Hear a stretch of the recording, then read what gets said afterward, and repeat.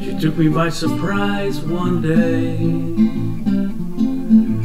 Out of nowhere, she asked me if I was going to die one day.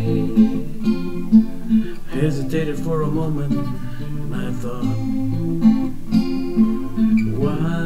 she asking this? She's only four years old, only four years old. But I could see it in her face. She's expecting a real answer from me. I said, yes, one day everyone that's living will leave. But it's not a bad thing. Normal mm-hmm. part of life.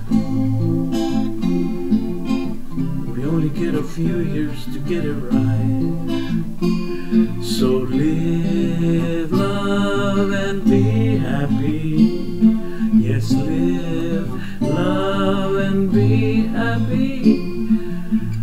She looked me straight in my eyes and said, But I don't want you to go I promised her I will always be here as long as I can. As long as I can. And even when I'm gone, I will always